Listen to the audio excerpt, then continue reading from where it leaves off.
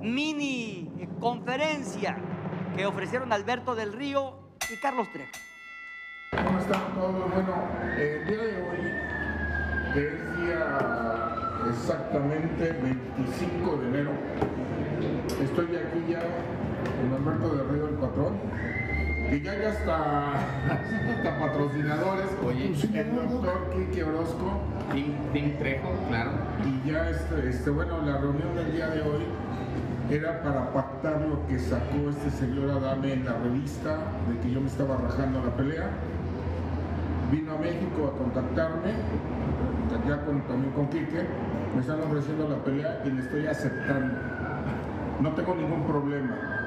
Pero siempre, compadre, o sea, tú nunca has dicho que no está pelea, solamente que se juntaron las cosas, que hizo declaraciones a Dame como es su estilo, y yo vine para acá para decirle a mi compadre, vamos a echarlo, vamos a aventarlo, que, que no se nos raje, como dicen por ahí, con, con dinero baila el perro, vamos a soltarle dinero y vamos a hacerla, compadre. Luego va el, el, inadaptado este de Adame y hace lo que hace en la calle con una señora, y yo se los digo, yo que tuve que sufrir, que, que una injusticia se viviera en mi familia y en mi persona por el comportamiento de tipazos nefastos como él, Claro. que realmente abusan de su posición contra las damas.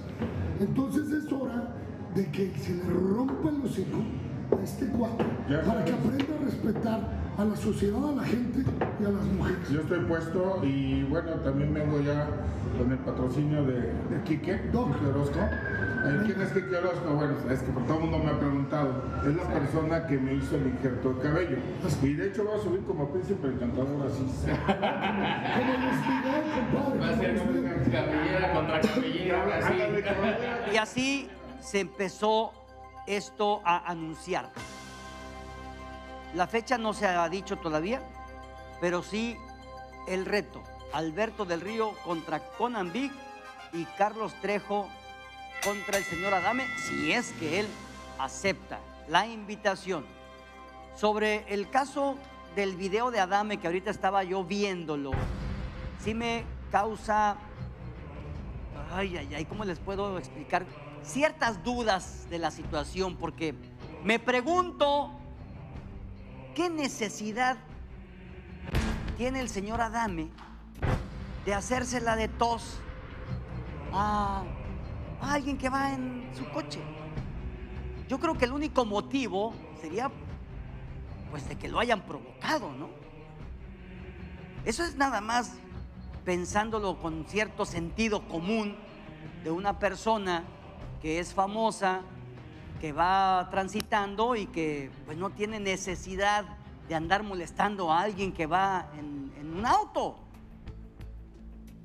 Y yo creo que una acción, o mejor dicho, una, una reacción como esta viene producto de una, de una acción y se me hace muy raro todo lo que se le está diciendo, pero sí, este, hasta no escucharlo para tener la certeza de los acontecimientos que lamentablemente se dieron en las eh, avenidas ahí en Tlalpan, que se generó este video.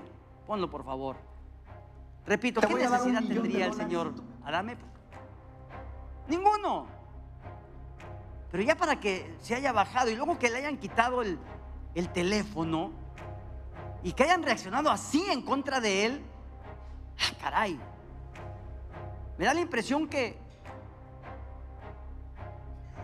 que más bien es una provocación, mi punto de vista, digo, no sé. Eh, ¿Está insinuando, señor, que es para ganar likes? No, señor. Ah, ok. No, no, no, no, no, no. para Hombre, nada. Chapolín. No estoy diciendo que que Yo pregunto. la culpa, pues no creo que sea del señor Adame.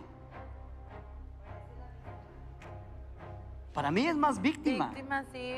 Parece que le quitaron su celular y lo único que quería era recuperarlo.